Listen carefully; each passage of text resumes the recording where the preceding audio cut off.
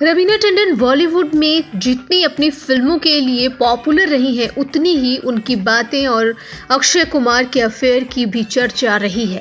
कहा जाता है कि उन्नीस सौ चौरानवे में रवीना की फ़िल्म मोहरा की शूटिंग के दौरान ही रवीना और अक्षय कुमार के बीच नज़दीकियाँ बढ़ गई थी।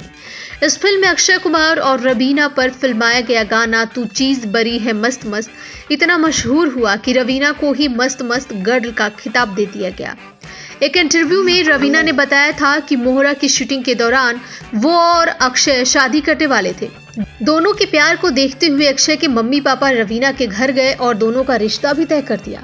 मुंबई के वर्सोवा शिव मंदिर में अक्की और रवीना ने चोरी छिपे एंगेजमेंट भी कर ली। रवीना अक्की से अपने एंगेजमेंट की बात सबको बताना चाहती थी, लेकिन खिलाड़ी कुमार इस बात को छिपाना चाहते थे। उन्होंने लगातार इस बात को छिपाया। उन्हें लगता था कि रवीना से एंगेजमेंट की खबर सुनकर उनकी फीमेल फैंस फॉलोइंग कम हो जाएगी। रवीना को ऐसा लगता था कि अक्षय उनसे शादी करेंगे या नहीं करेंगे, इसलिए वो सबको बताना चाहती थी। रवीना के अनुसार उसी दौरान अक्षय ने दो और लड़कियों से एंगेजमेंट कर रखी थी।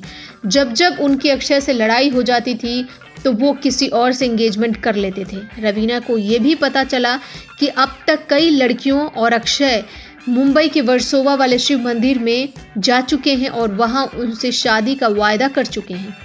रवीना अक्षय की चीटिंग से परेशान हो चुकी थी, लेकिन हर बार अक्की उनसे माफ़ी मांग लेते थे। रवीना ने बताया कि जब मैंने अपना करियर दोबारा शुरू किया तो उसने कहा कि तुम छोड़ दो ये सब, हम शादी कर लेंगे। लेकिन तब मैंने उससे कहा कि एक बार मैंने अपना करियर छोड़ दिया है, तुम्हें चुना था, लेकिन तुमने मुझे निगलेक्ट कर दिया।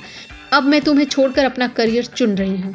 रवीना के लिए हद तो तब हो गई जब फ़िल्म उन्नीस में अक्षय और रवीना की फ़िल्म खिलाड़ियों का खिलाड़ी आई, जिसमें रेखा विलन के तौर पर थी।